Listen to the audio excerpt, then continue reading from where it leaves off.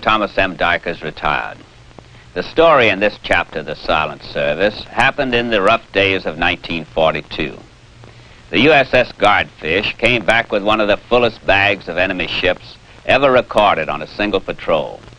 In order to do this, they had to move in extremely close to the coast of Honshu.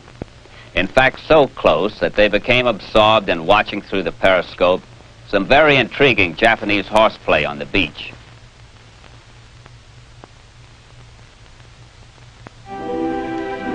Story really began in early March of 1942 in the office of Captain Bowen, Submarine Force Chief of Staff.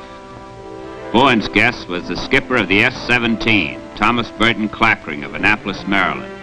A fine submariner, a man with a flair for the unusual and the daring. Fine patrol, Bert. Thank you, sir. A little unorthodox, perhaps. Trying to ram a U-boat. It's a matter of position, sir. I, I had no alternative. Seems to me I recall several instances of your inventiveness. Important quality, inventiveness. I think we can put yours to good use. I have some good news for you. We are sending you to command the new submarine Guardfish. She's building right here in New London, isn't she, sir? Yes. And she's ready for her crew right now. Well, she's no more ready than I am, sir.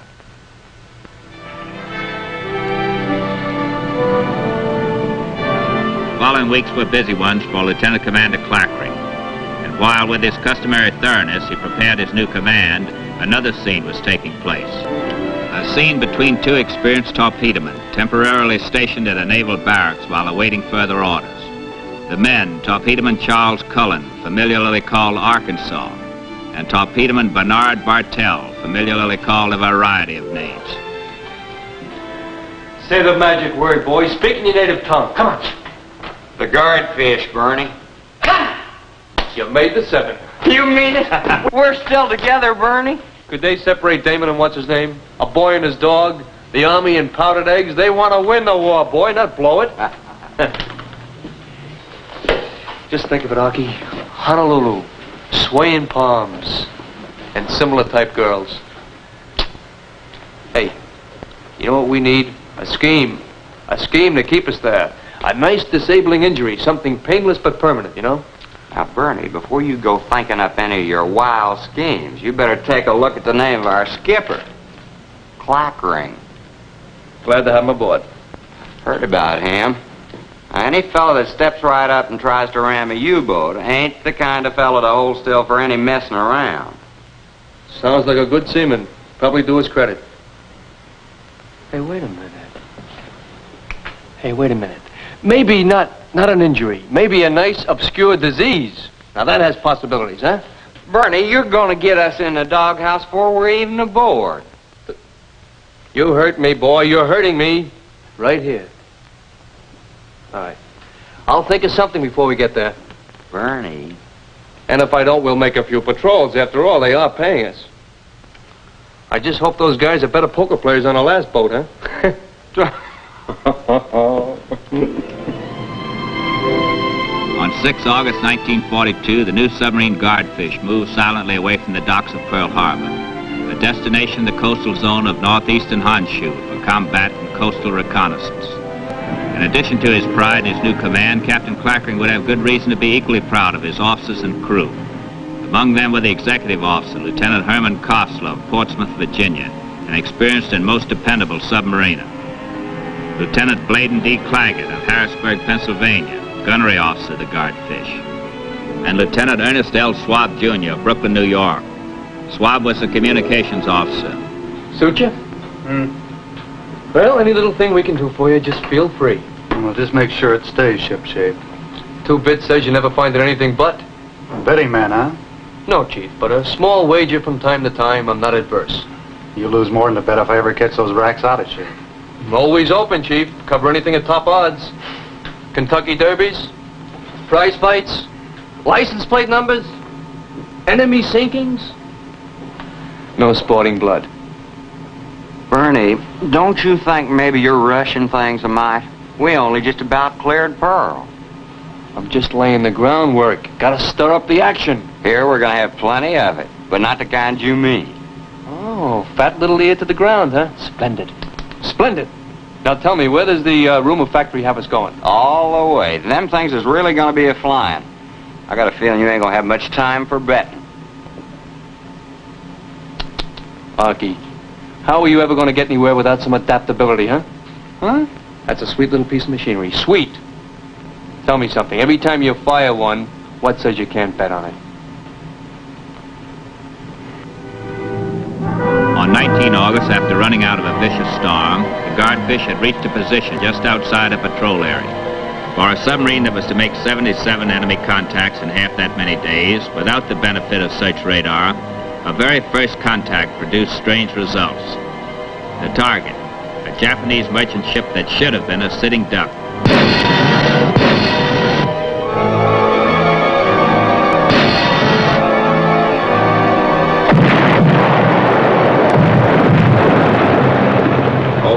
Exploded prematurely. That's fine. It couldn't be anything else, sir. We have him cold. Escort, Captain? Coming fast. Hold her at periscope depth. Maybe we can get a shot at her. She's turning. Rig for depth charge. Rig for depth charge.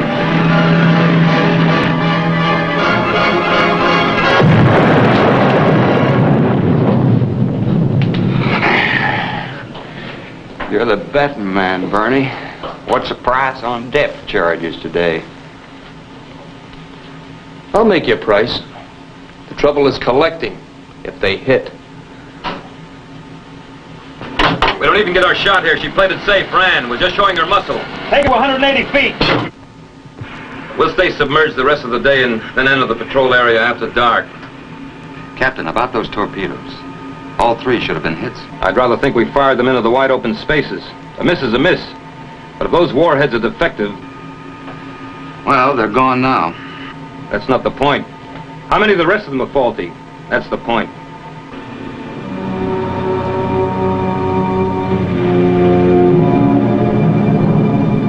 I'll see you. Loyal shipmates and true. Thine, friend, all thine. Hey, do you know that in China a straight beats a flush? Tell 'em, native. Spread the knowledge. I wouldn't know. I play mountain style. Ah, my chief. Come, be mortal. The labors of the day are behind. Relax. A hand, perhaps, huh? You guys know what's good for you, you'll break it up. Or at least walk on eggs. Skipper ain't exactly happy. Oh, them messes, huh? Just play it soft. Well, I was fixing to quit anyway. I think I've just about had it. Mind if I sit in? Uh, Our old master just about had it, too. To be continued, huh, fellas?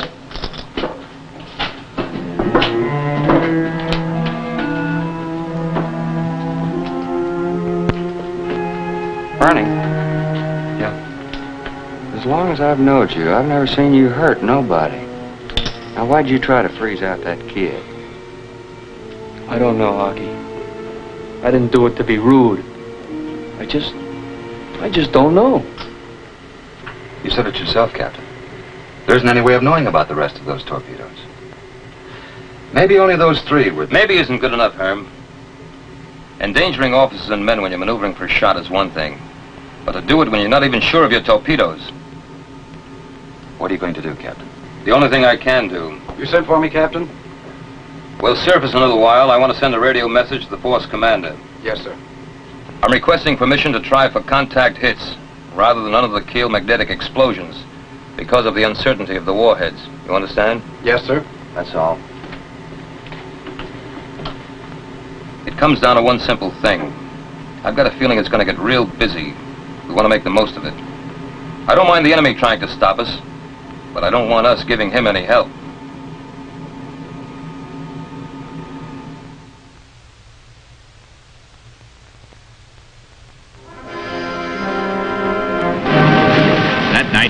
Night, the Guardfish moved silently into its area of patrol. The waters off the northeastern coast of Honshu. Captain Klakring now waited eagerly for two things. The reply to his radio message and the moment the Guardfish would draw first blood. The captain was not kept waiting long. Battle stations, gun action, flag it! You make him out, Captain? Trawler. Arm trawler. She's your baby, Claggett. Yes, sir. Gun crews on deck. Gun crew? That ain't nice with all them pretty fishes sitting back there. I must recommend this cruise. Never a dull moment.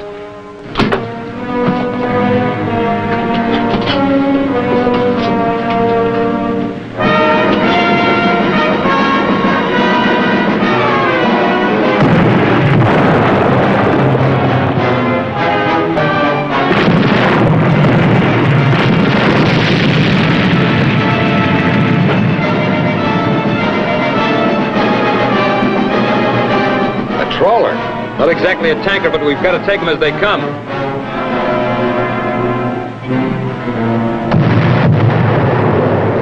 Plenty of fight in her. She sure doesn't like being taken. Uh, Claggett's boys know their way around that deck gun. Any minute.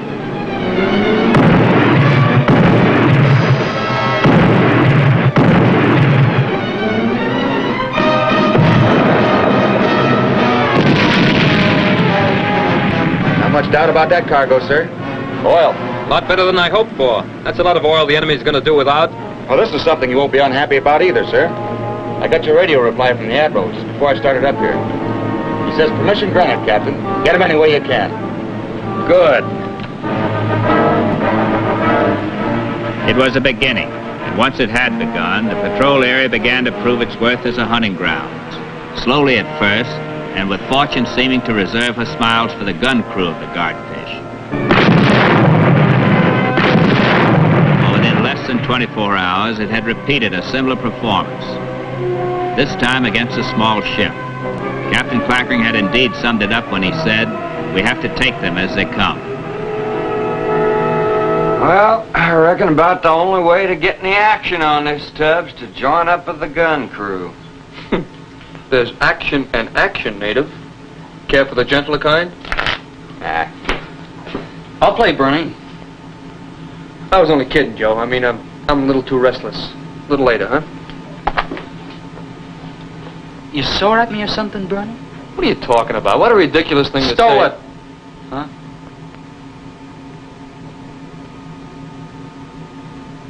how long do you think it was going to take him to get the idea he's been brushed? A year? Now, look, native. Bernie, I know some fellows have to have at least one patsy, but I never even suspected that you was one of them fellas. Are you kidding? I wouldn't do a thing like that. That's a nice kid. Then why are you brushing him?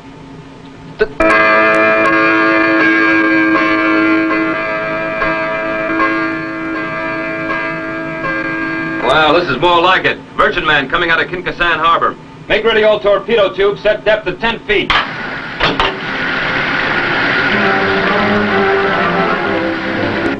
Bearing. Mark. Zero, four, two. Range. Mark. One, nine, zero, zero. Fire one.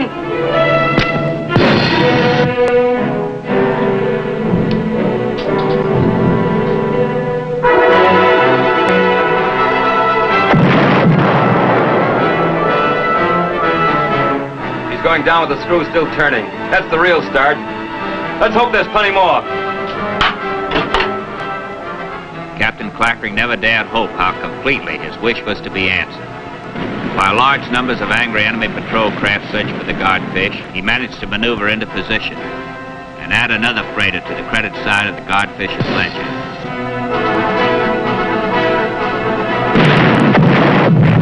2,300 tons of freight. The list was growing. There was no way of knowing that within 48 hours, Guardfish was to set an incredible record that still stands.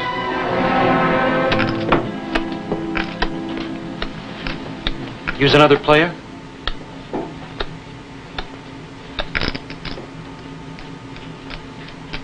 Okay. Um, small stakes, like always.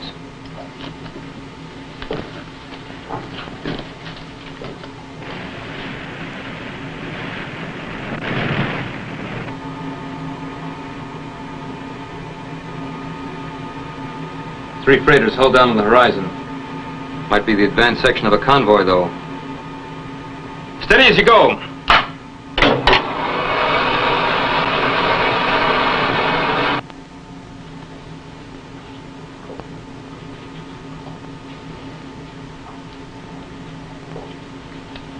Raised.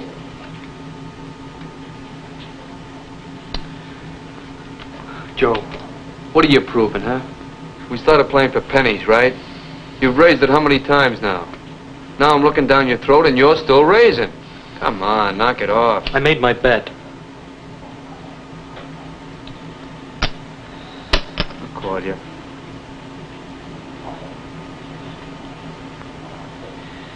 Three tens. That's good.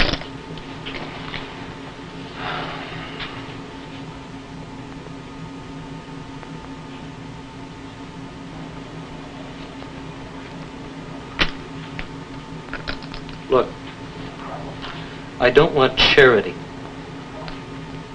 I owe you 80 bucks. All right, you'll get it. The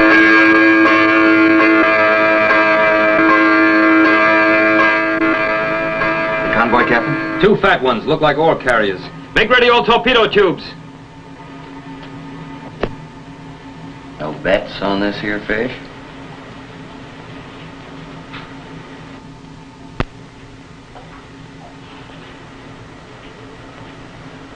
I had enough betting for a while.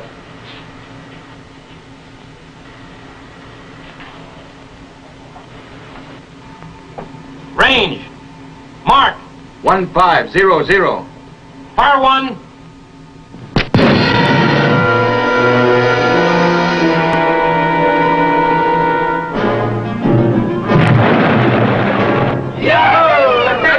Settle down. There's still one standing. Fire two. Fire three.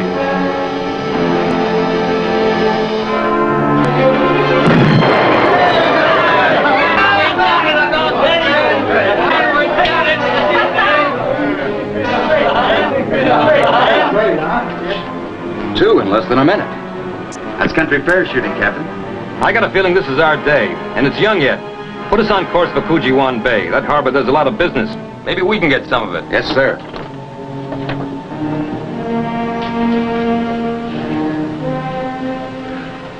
Bernie, why did you try to keep from playing with Joe? A feeling. Been playing cards long enough, you can spot a guy who's running scared, afraid to lose. I wish I knew why. Just found out from his buddy. Coleman? You were right. Joe's scared. Got no right to play even for pennies. Been married for less than a year. Got a kid on the way. Still supports his folks. And pennies count. What did I do? What do you think, I won his 80 bucks? Not after you tried to throw it back to him. That was a mighty nice thing for you to do, Bernie. Yeah. Only it didn't work. I don't know. I'll figure out a way. Somehow.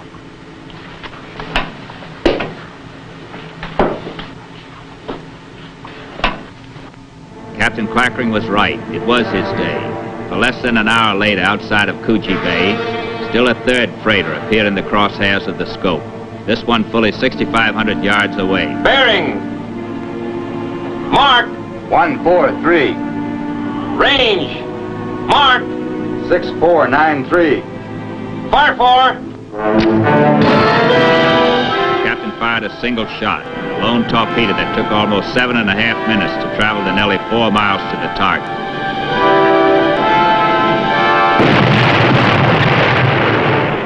Another hour saw still a fourth enemy vessel slide to the bottom, another victim of the guardfish's incredible accuracy. Downscope. Who'd believe it? Four in three hours. Cruising those freighters, maybe. We're still not finished. That coastline information? Right, set your course and we'll get it now. We finish that, and we can head for Midway. Yes, sir.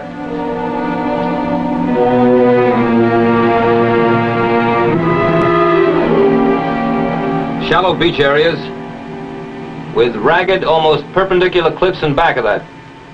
You got it? Yes, sir.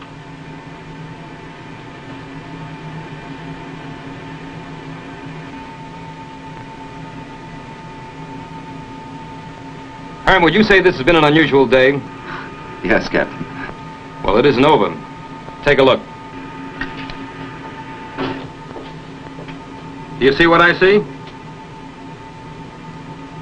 Yeah, I thought I'd had it too. A horse race, Japanese racetrack. How do you like that?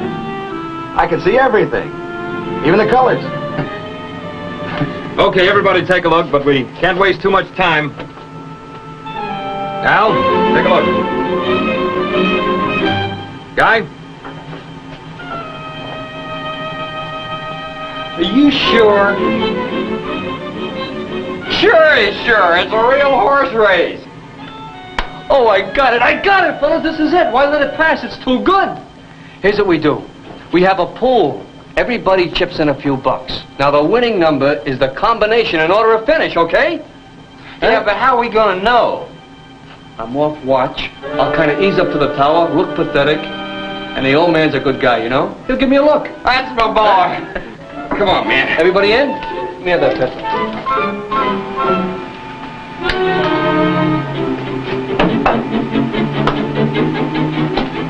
Yes, Bartell? Oh, sir? I, uh, I, uh, Yes, I know. You were just passing by, huh? Well, don't mind me, sir. I, I just heard some laughing. I figured maybe, uh... Well, I hope you're a better torpedo man than you are an actor. Well, what are you waiting for? Go on, take a look. Yes, sir. Thank you, sir.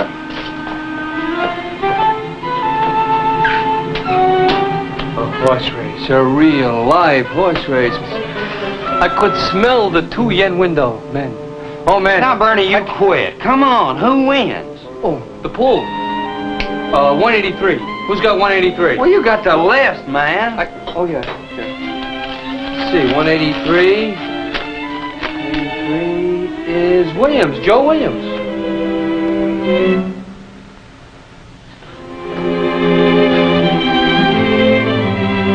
You got a little over a hundred bucks coming to you, kid. I'll get it for you, huh? Bernie, look, uh, thanks. Don't thank me, kid. Thank the horses. They did the running. Just don't make a hobby out of it, okay? I won't, but thanks. Right.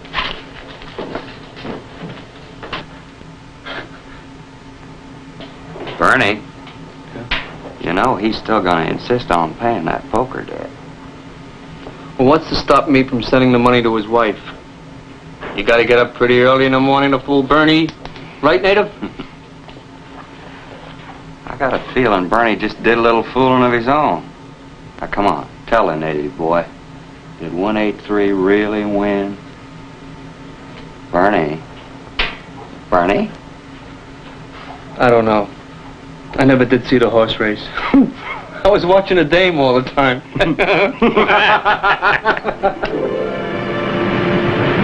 When on 15 September the Guardfish entered the lagoon at Midway, she had fired all but one of her 24 torpedoes.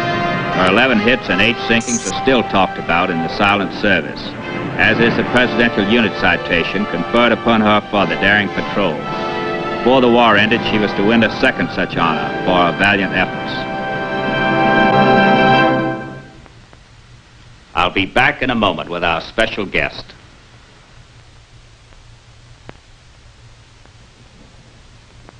We have with us Captain Herman Kossler, Commander Submarine Squadron 2, who is Executive Officer on the Guardfish and the patrol you've just witnessed. Herman, as I remember, this patrol of the Guardfish gave us all a record to shoot at for some time. We were pretty proud of that run. You had every reason to be. The whole submarine force was proud to know you. Now tell us about this horse racing business. Well, with the periscope in high power, it brought the race course up close enough for us to watch what was going on. I understand your skipper was honored by the racing officials when you got back.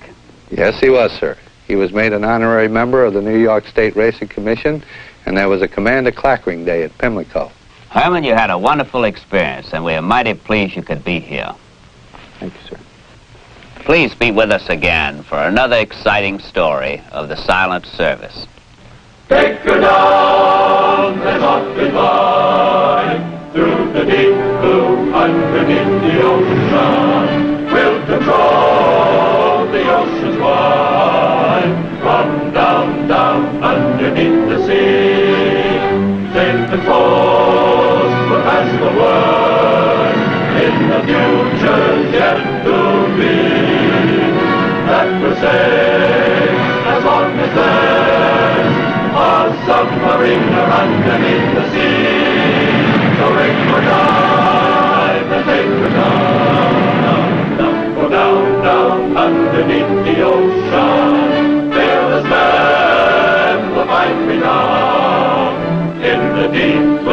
underneath the sea.